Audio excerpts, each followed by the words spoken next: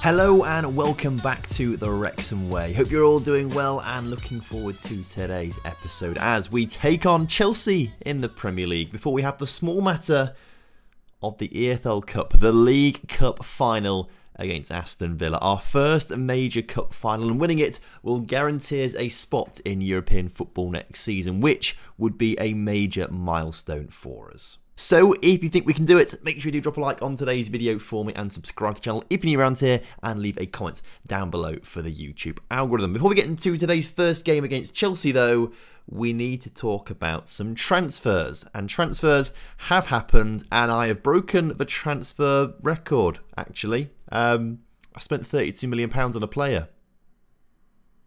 And I'm not sure you're going to like it. We'll start off with a sale. Uh, Luciao has left the club. Our young winger who was not really developing and wasn't really going to play considering that we have sort of dropped the winger system this season. He's gone to Leeds United for £14 million, so £9 million worth of profit on him is, is not bad going. You also saw last episode uh, Frank Nice. He joined the club, well, we offered him a contract uh, last episode. He's now subsequently come to join the club as a winger on either side should we want to play as wingers, but I see him as a false nine, I think, going into the future. I like playing with a false nine. I like playing with two strikers, and I think that would be quite a good option for us. Also branded as a wonder kid as well with five stars of potential. Like this guy is good. But it's the next transfer that I've made for 32 million pounds that I think is going to really split the comment section massively. Uh, as you can see here, he's back. Randy Ramheimer is back after a short spell at Arsenal uh, and a brief loan spell at Norwich, where actually he played very well in the Championship. Uh, I brought him back. 32 million. It's what it took. Uh, 16 up front, 16 down the line. And look, he's a good player. He is crucially one of our own that we never wanted to see leave the club in the first place, but also has newly become branded as a wonder kid. And I just felt like I had to get him back. I had to get him back. So here he is. Hopefully going to be here for the rest of his career and hopefully going to be a great wonder kid forward. And again, can play on the left wing, but I also see him as a false nine. He'd be a really decent false nine with a bit better passing and vision. I mean, can be a decent advance forward as well, to be fair. Uh, finishing composure, increase that a little bit. Pace is pretty decent too. Can play with both feet crucially as well. I see him as a really top quality striker. So, for me, we now have four really good strikers at the team. We do need to try and get rid of Sione because, well, he's just never really done anything. And there's one great season with us, and then since then has just dropped off massively and not really done an awful lot. So we need to try and sell him, but clubs aren't really bidding big money for him, so that's a bit of an issue. He's essentially now our fifth choice striker this season. I think what happens though, now that we've got Pereira, Pepe, uh, we've got Nice and Randy Ramheimer, it probably means that Pepe becomes the backup to Pineda in the advance, or not Pineda, sorry, uh, Pepe becomes the backup to Pereira in the advanced forward position, and then Nice and Ramheimer sort of rotate in that false nine position. But I am still pretty keen on playing Pepe and Pereira this season together on the grounds that Pepe's got 15 goals to his name this season so far, and Pereira's got uh, 11 goals and 8 assists to his name so far this season. He's just come back actually uh, from a month long injury or so. If we look at um, history injuries. You can see he's been out for four weeks or so with an abdominal strain. So we've missed him for the past few weeks or so. It has allowed actually Nice and Randy Ramheimer to play. Ramheimer got injured half an hour into his first game. He's actually been out since then, so he's not played much. Uh, but Frank Nice has got two assists to his uh, uh, to his name right now, which is not too bad going, I would say. But what hasn't been great now, you were last here for the wins against West Ham in the semi finals and the win against Mason United in the FA Cup third round. Since then, Three losses, two draws, two wins. It's not been brilliant. Now, we started off with a 5 0 loss to Arsenal, but that was on the ground that we had to rotate after the West Ham game, literally two days before it. Um, so, rotated, played wingers.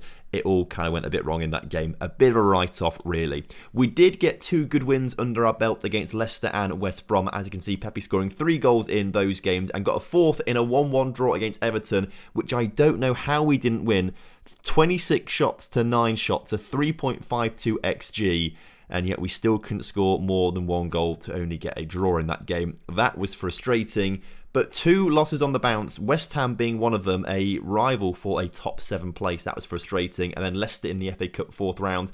Kamara sent off in the 76th minute didn't really affect things. We just didn't play very well. And then last time out, a nil-nil draw with Newcastle, not ideal. So the past three games, we haven't played particularly well, and that makes me nervy with a cup final coming up and again against Chelsea in second place in the table. Despite the results, we are still in with a shout of a top seven finish this season. We're only one point behind Liverpool and West Ham, albeit with a game in hand they have on us. We played 27, they've played 26. So it's it's pretty tight right now. Um, I'm sure they'll go on to win their games as well at some point whenever they play. So nervous about that.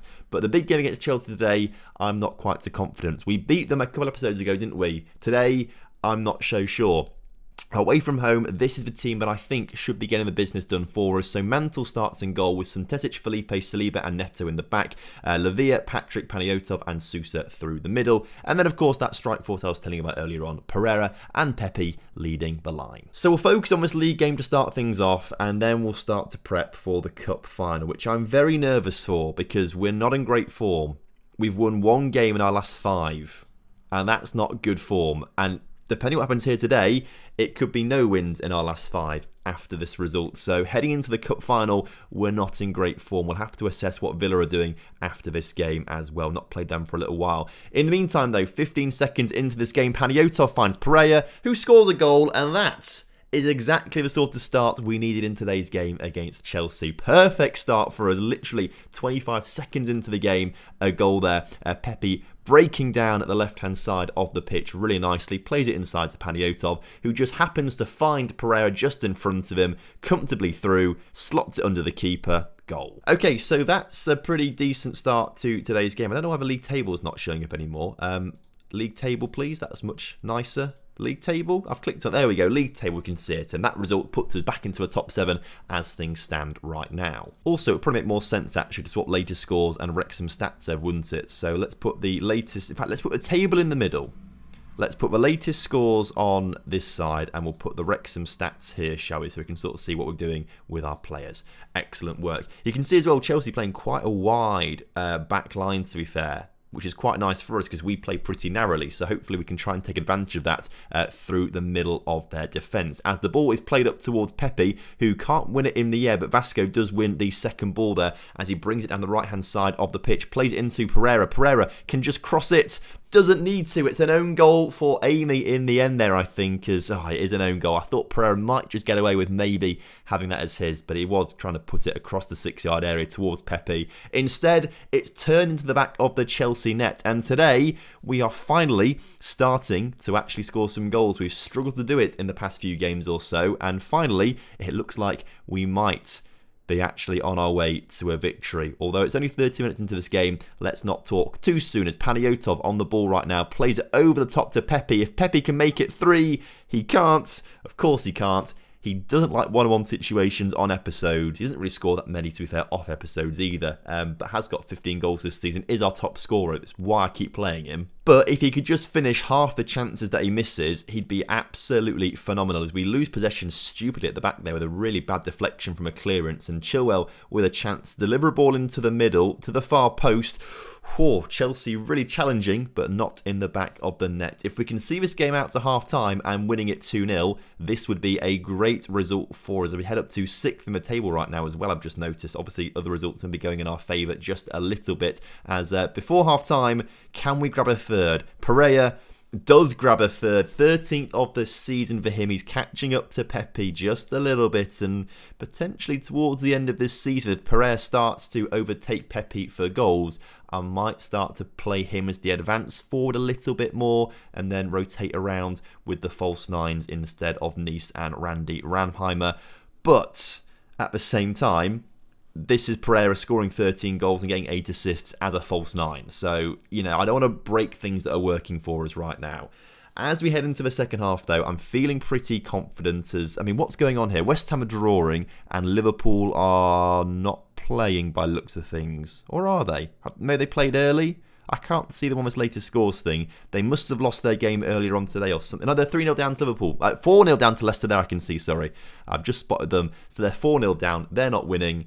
This is really handy for us, particularly as they have a game in hand on us. It's just going to close that gap a little bit, even if they go on to win their games in hand, which is quite nice. In the meantime, With uh, 20 minutes or so to go in this game, we should look to make changes in a second, I think. Daniel Patrick plays the ball the wrong way, really. Should have gone the other way to where we had three players breaking, but still, Pepe can bring the ball play it back into Lavia, into Paniotov, into Daniel Patrick, who scores a superb goal to make it 4 0. Where has this performance come from? Because we did not look like playing like this at all in our past three games. Played very well against Everton despite the 1 1 draw. Obviously, like a 3.4 XG, whatever it was, you know, should have scored more goals. Today, we are finally delivering on this, and Daniel Patrick, take a bow, superb goal. Let's make some changes then to have a bit of a rest in this team. What I might do is move Pereira to be the advance forward on attack. And Nice comes on now to become a false nine. Now, he's actually got a right foot. He's got a pretty weak left foot, but deal with it, lad. Um, we'll also bring Suntesic off. Not the greatest of games for him, but there's probably more tired faces in Vasco Sousa. So we'll bring Kamara on for Vasco Sousa. I tell you what as well, let, let, let's get Suntesic off for Hector Garcia. Let's do it. Let's make the change. Bit of a rocky season for Suntesic. Been injured for quite a lot of it, to be fair, and hasn't been able to get a decent run of games going. Uh, obviously, still got a lot of faith in him as a first choice left back for the future, but uh, he needs to have a solid, consistent season next year without injuries to really cement that place. Otherwise, we could be looking to change him around a little bit potentially. In the meantime, the ball over the top not quite reaching the intended target as it was uh, actually intercepted quite nicely. The second ball over the top, again, not quite reaching the intended target. But can we get a third ball over the top? No, because Chelsea bring the ball down and look to come forward. I'd love to keep a clean sheet here today against the Chelsea side chasing down Champions League football as Amy puts the ball into the middle, cleared by Kamara only as far as Chilwell. I feel like this is the goal highlights. And I feel like it's going to be for Chelsea, and there we go. You just know sometimes, don't you? You just know. Well, the positive of that is that no clean sheet bonuses are about to be paid out. So that, that's fine by me. I don't have to worry about clean sheet bonuses being paid to our players. Uh, hopefully, though, it's not going to be a comeback.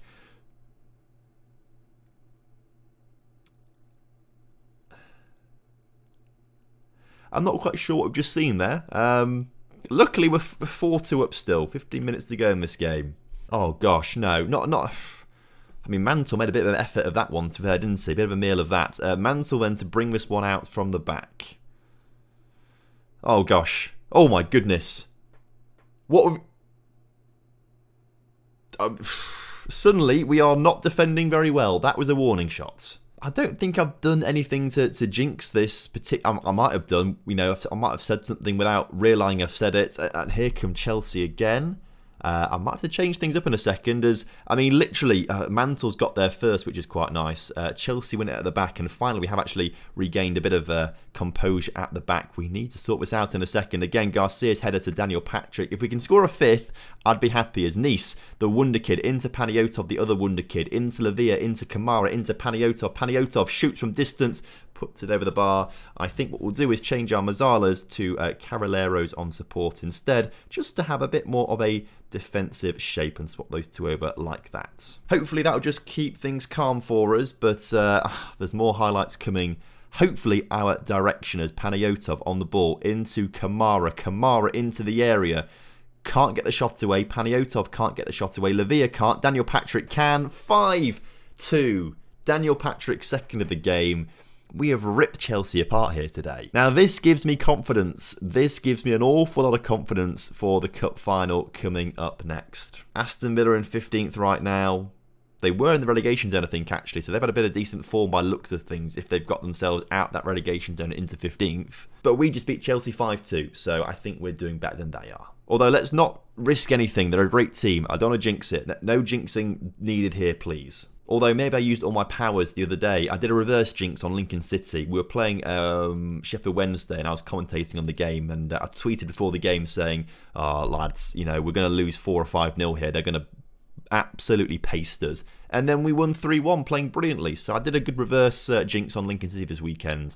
Um, so hopefully it carries on in this. Oh, look at that. Pedro Pereira, I love to see it. Four star credibility, five star potential, uh, making remarkable improvements. You love to see it. That's what we want to see. And I think heading into next season, there's we, have got a really solid team that I think is, you know, there's certain players in this team. I think all our strikers, actually, the four strikers that we've got now in uh, Nice, Ramheimer, Pereira, and Pepe, like they're there for five years or so. Paniotov, if he doesn't get poached for like 100 million pounds at some point, is going to be there for another five years or so. Like he's a solid part of our team. Uh, I oh, you hate to see it. Just as I big the players up, Pedro Pereira is now out with a fractured lower leg for the rest of the season, three to four months. A heavy fall during training. You hate to see it right before the cup final. Our talisman striker is out. Off to a specialist then. Let's, I mean, hopefully recovers nicely. Uh, this is going to be a big chance now for, well, Sione to maybe have an impact in the team, but mostly for the new signings of Nice and the re signing of Randy Ramheimer to get themselves back in this team. We'll focus more on Randy tomorrow, I think. Today's the cup final, but I think the return of Randy is big. Like the return of the prodigal son. Like he is the best youth player we've had come through obviously sold to Arsenal for a lot of money because he was greedy, didn't want to sign a new contract with us. It's ended up costing us, I guess, twenty-two million pounds. We sold him for ten million pounds, didn't he? But we can we can talk about that at a later date, can't we? Today we can't do a team meeting because that will ruin things. I refuse to do a team meeting. This game is massive, though. This game is monumental. Like this will get us European football. I think it might be Europa Conference League, if I'm honest with you, but we'll double check in a minute if it's Europa League. Winner gets Europa Conference League playoff place. Okay, so this would confirm us in Europa Conference League next season. And I'll be honest with you, I kind of want to be in it because I think that's a competition we really could be winning. Oh dear me.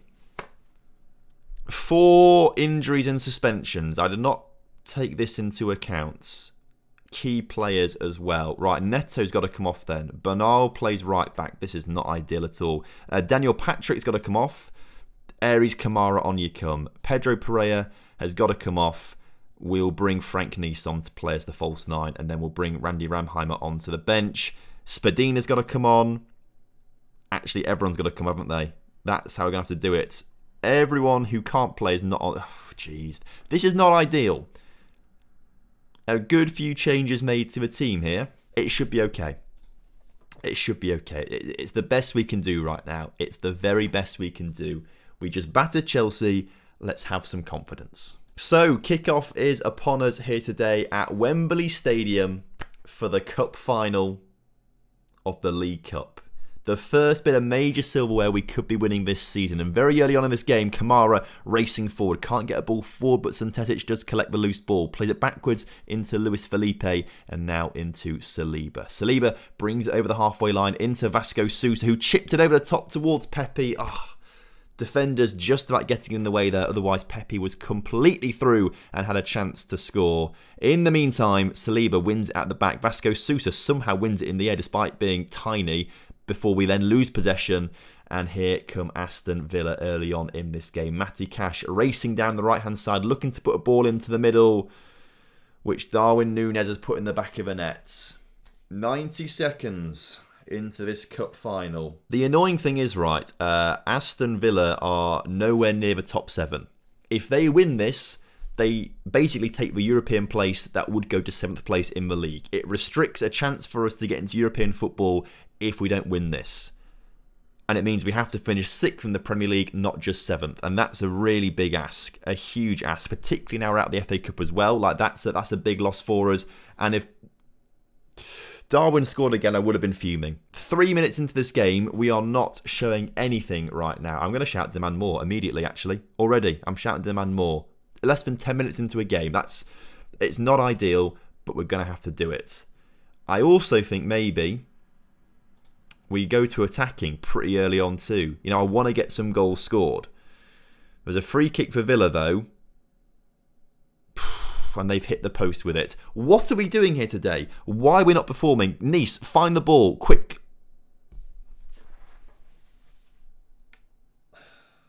They, I don't know why they're not playing well today. I mean, you've just seen us batter Chelsea 5-2, who are a Champions League team fighting for the title. We battered them and now we can't string a few passes together against Aston Villa. What is going on here? I mean, no one can tackle El Hadj either. Back to Matty Cash, into Ruiz. Can we just get the ball one back, please? Oh, Panayotov, no. I can't be having that.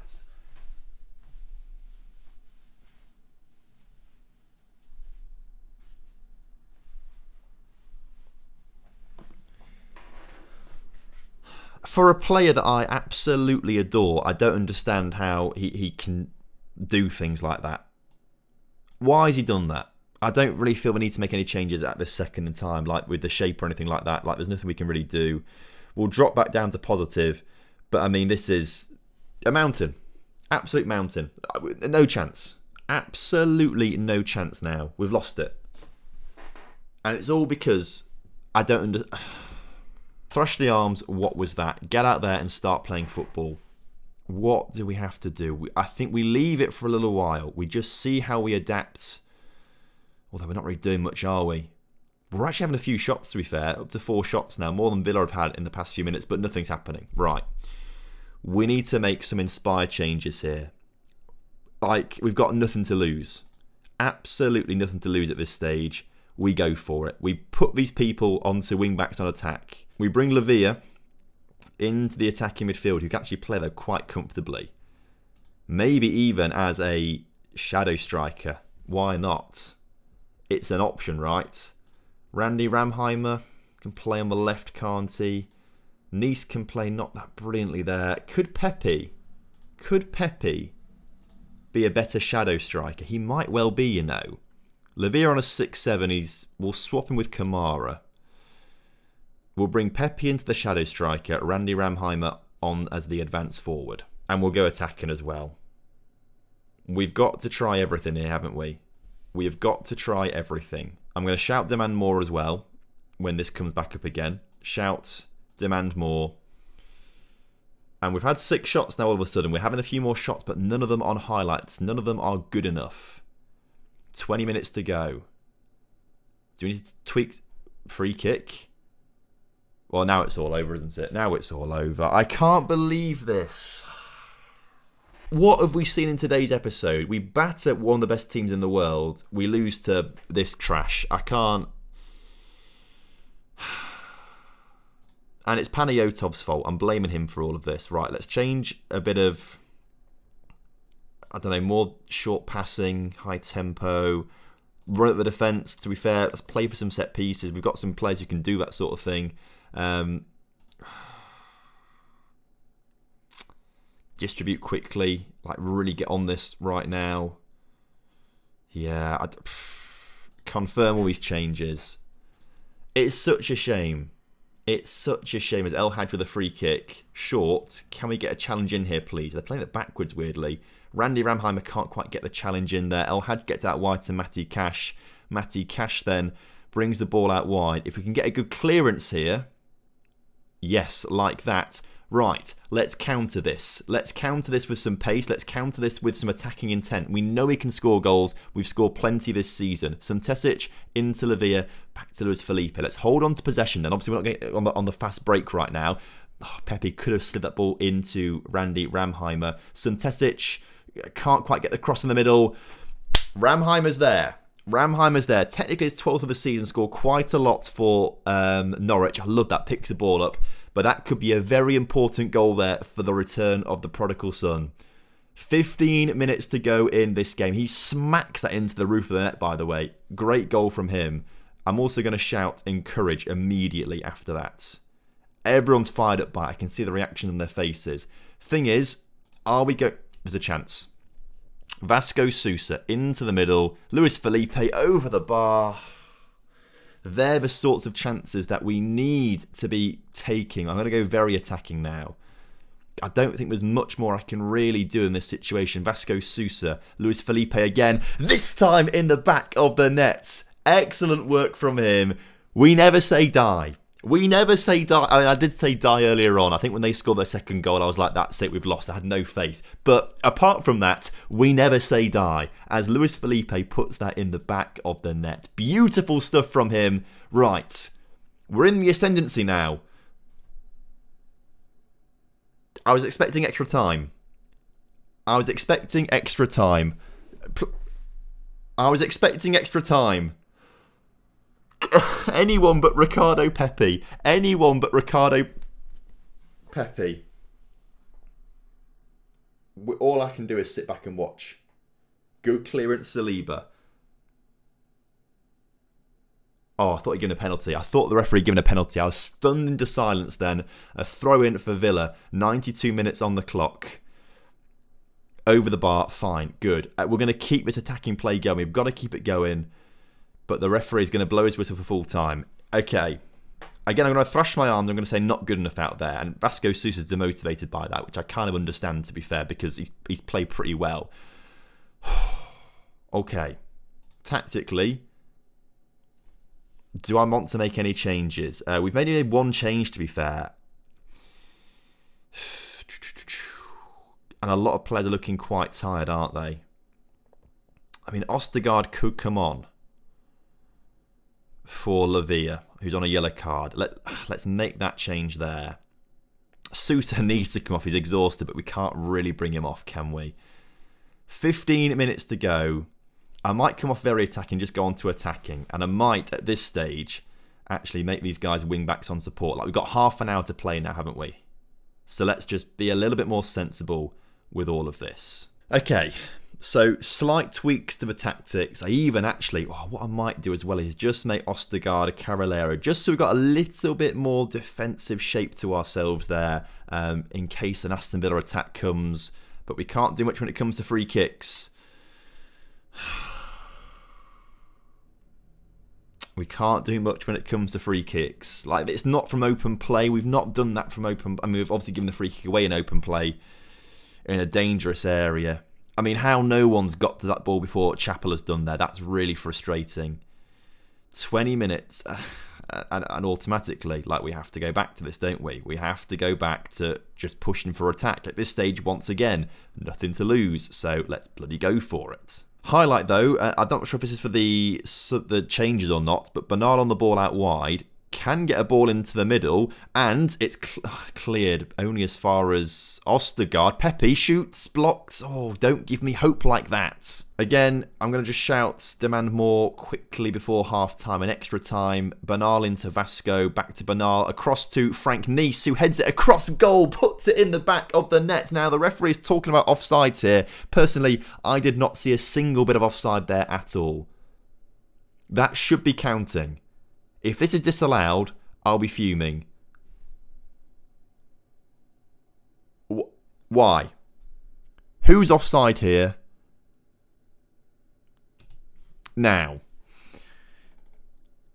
we can't really see the defender marking Randy Ramheimer. Ramheimer is offside. But I'm looking at the feet of this Aston Villa player and they are between the legs of Ramheimer.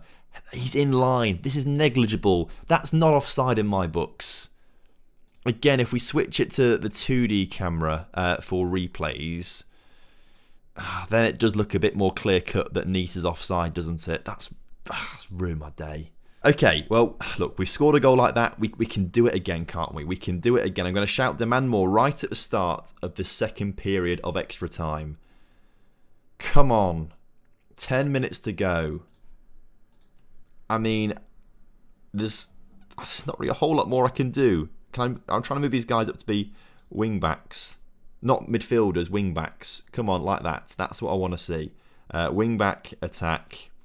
Wing back, attack. I mean, at this stage, nothing to lose. 3-2 down. They might score a goal themselves, but we have to try and just push everyone forward. And sadly, it's not going to be enough, is it?